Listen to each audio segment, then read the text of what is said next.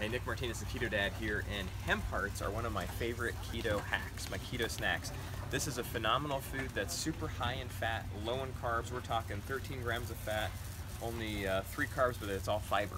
So net carbs is zero, 10 grams of protein. You take a few spoonfuls of this, you stick it in your uh, your yogurt. It's fantastic. You can throw it on a salad, add some fats to your salad. Really, really good keto-friendly food that you're gonna enjoy.